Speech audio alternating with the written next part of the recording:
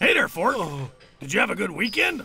Uh, well, Ted, uh, things happened kind of suddenly, but uh, do have good news. My baby was born this weekend. uh, it was a little early, but uh, look, here's the picture. Huh? Uh, the fishbowl isn't the baby. The baby is inside the fishbowl. Huh? and the baby has spiky hands just like me. What? Uh, congratulations, Fork. Now that you've got a mini-me, you've really become a father. But you know something? There are things you'll have to do no matter what, like... Oh my, I've been working such long hours, it's completely late and I still have something I've got to buy. Oh, oh good, the shop's still open.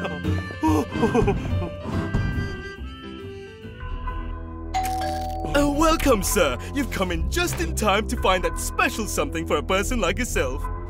Quality tape to use to mummify a mummy. Or how about some environmentally friendly poisonous mushroom spores? Uh, no, I don't need anything like that. Uh, Aha! Got it.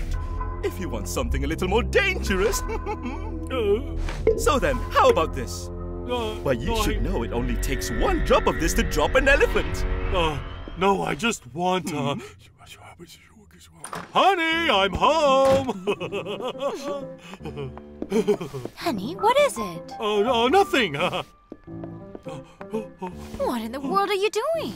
Oh my, you shouldn't have. Ooh, a fairy tale book. Let me read it to the baby too. Between a rotten smell coming from the chimney and a Santa burned black as charcoal. Honey, you want to know something? You're a good father. I am. I, I'm really a good father.